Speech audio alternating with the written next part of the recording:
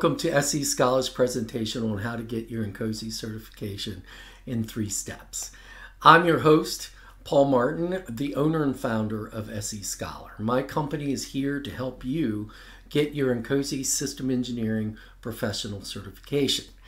And I found that you can break it up into three steps. Learn the handbook, take the exam, and submit your application. I would love to say these are three easy steps, uh, but they're far from being easy. And I'm here to kind of manage your expectations as well as to help you along the way. So, with that in mind, let's go into step one, okay?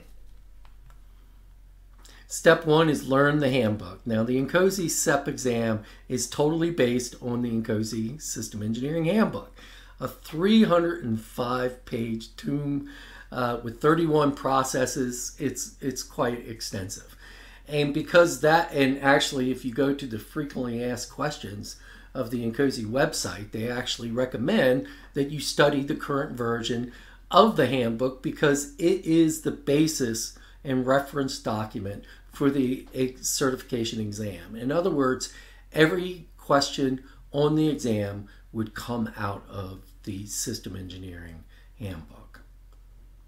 So I suggest, because it is a large handbook with a lot of processes, that you take my course. I've been teaching this since 2009, and I believe I have the uh, tools that you need in order to pass the exam.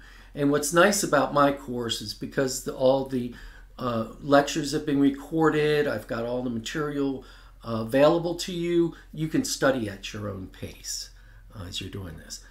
The way we do that is a complete set of lectures. I do five modules that cover the entire handbook, and all those lectures are recorded. It's like 23 hours worth. And you'll be able to look at those lectures and follow them at your own convenience.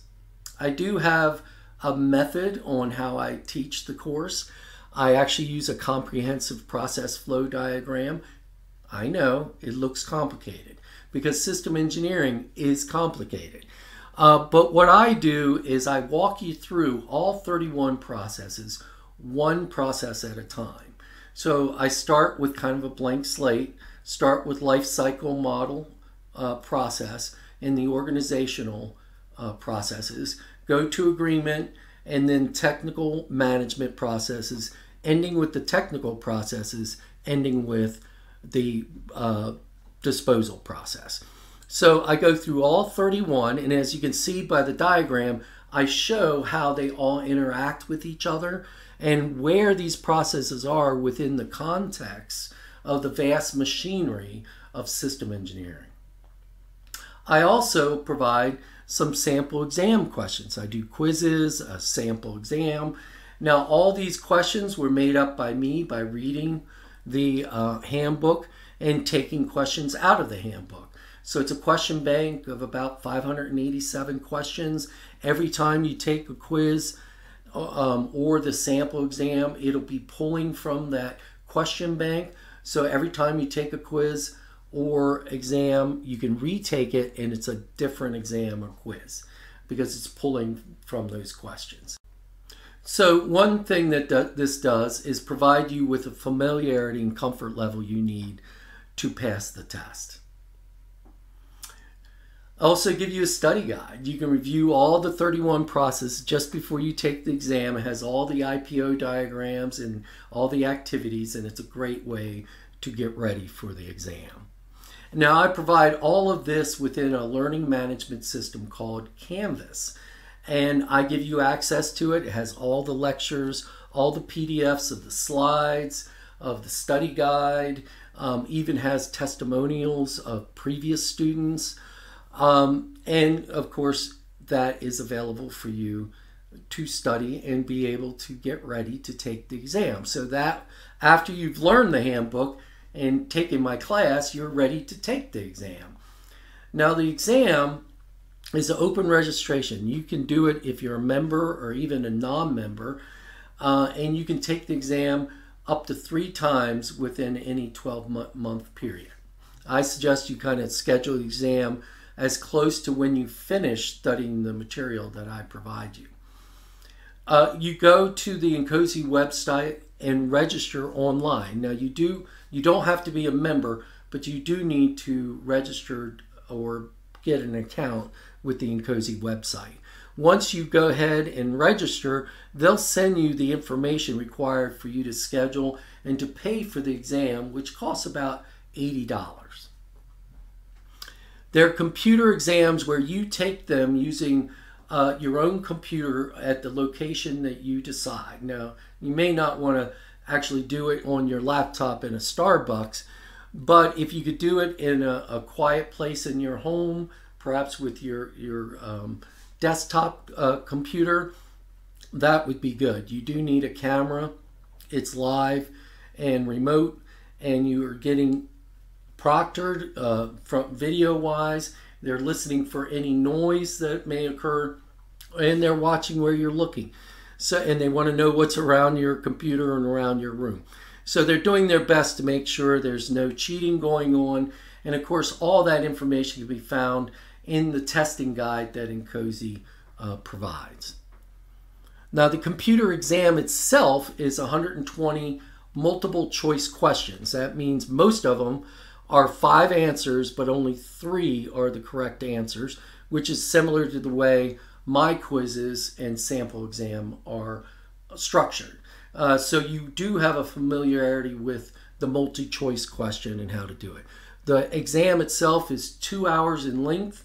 It's a pass fail um, situation where they give you those results immediately. If you do fail, they, they'll give you a rationale in terms of where you were deficient in what areas. Uh, they also give you a scratch sheet that's online. You can't take it with you or screenshot it or anything, um, but it's a way for you to perhaps take some notes prior to you going into the exam. So, oh, by the way, they also offer uh, a pencil and paper exam at some INCOSE events like the Symposium or maybe some uh, local INCOSE chapters. And you can check that out at the exam events webpage to see if there's one near you. All right, you've learned the handbook through my course. Now you've passed the exam. Uh, doesn't mean anything once you pass the exam because you have to submit an application in order for them to link that past exam to you so they can give you the certification. So the application, there are two types. There's the ASEP, the Associated System Engineering Professional. Uh, it's a one-page form. You just pretty much fill out your name, email, sign it, date it, give them the money, and you become an ASEP. That's pretty much all that's to it. Now the CSEP's more complicated because it's 11 pages and they ask for you to verify your education, experience, and have some references or advocates to show that indeed your experience is real. Uh, so it's an 11 page application. From an education standpoint, they pretty much want you to uh, photograph your diploma or your transcript to show indeed you did go to school and learn this stuff. Now, if you don't have a technical degree, um, they do uh, give you the ability to use more experience to um, take that into account. Uh, go into the website, they'll tell you what that uh, criteria is. Once you've done your education, your experience needs to be uh, verifiable, but you need to write your experience. And what they're looking for is at least five years of experience. It can be more, of course.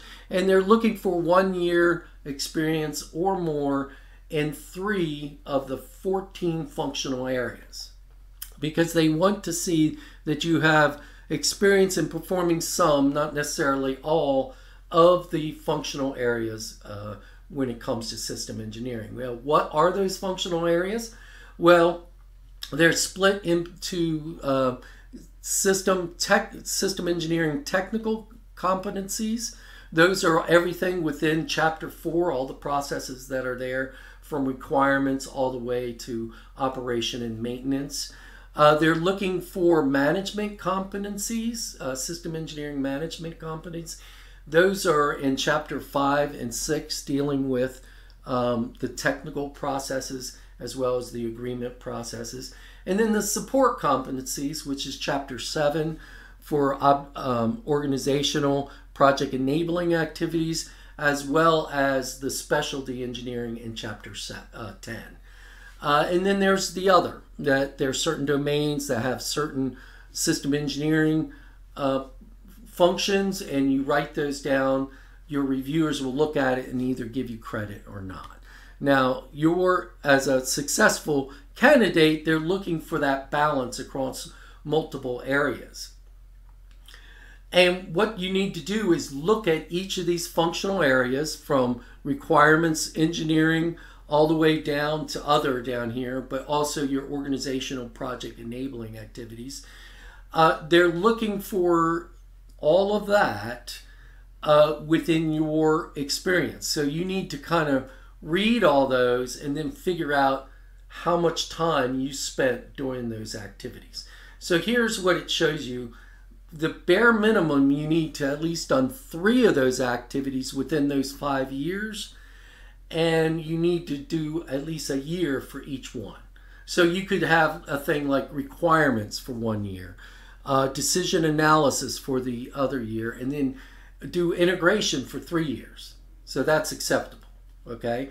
Most likely you have more than that, and you can split it up either which way you want, uh, but you want a year uh, for at least three of these things. Okay, within the five years. I mean, you could have a year for five. That's fine. Uh, you're showing you have at least a year for each one. All right. So you download your forms through the INCOSE uh, website and um, actually get the uh, actual application, the instructions on how to fill out the application, the instructions for your references, and of course the reference form, uh, the endorsement form that your references would fill out.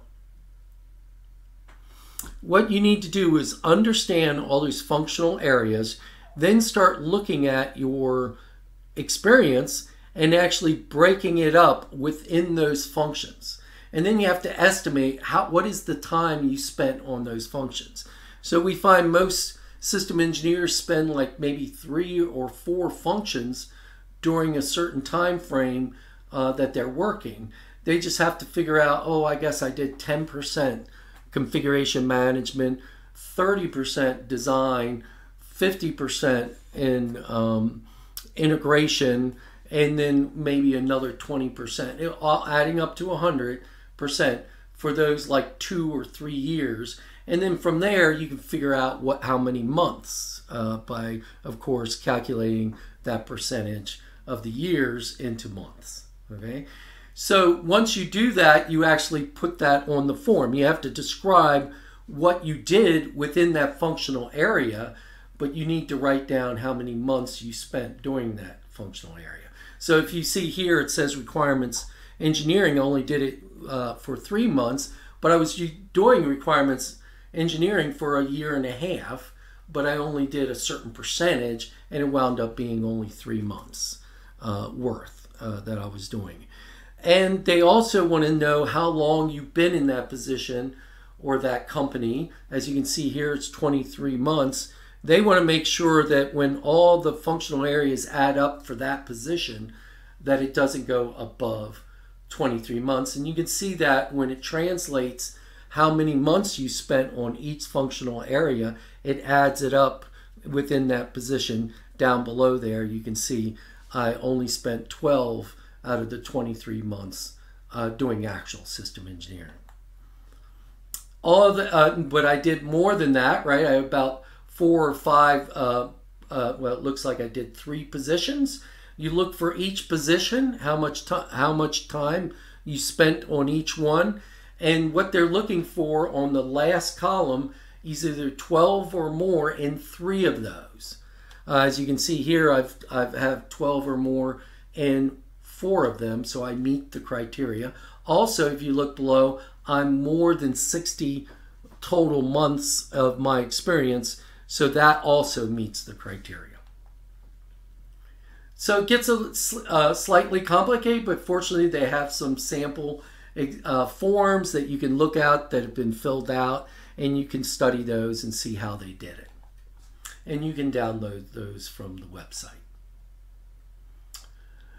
Last but not least, you have to get your references together or your applications uh, advocates. Okay, so what you're going to do there is actually try to find three system engineers. Very important that your references do understand system engineering and they actually have to put that on the endorsement form. They have to explain how they've done system engineering.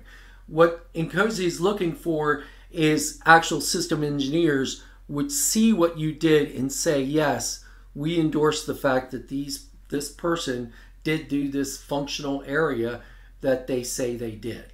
Okay, so and they'll fill out the form accordingly and they'll email that into INCOSE. You need three references. Now, once all that comes together, right, you've passed the exam, your application goes in, and your uh, references come through. You that's all been submitted, and now you get your INCOSE uh, System Engineering Professional Certification, be it a CSEP or an ASEP, depending on what you filled out. So that's it. That's how you do it in three steps. Uh, learn the handbook, take my course, okay, and I'll teach you the handbook, pass the exam, and then start filling out and submitting the application. That's all you need to do. So if, please join me in the course so you can learn the exam and start your way on this process. Go to se-scholar.com and I hope to see you at one of my classes.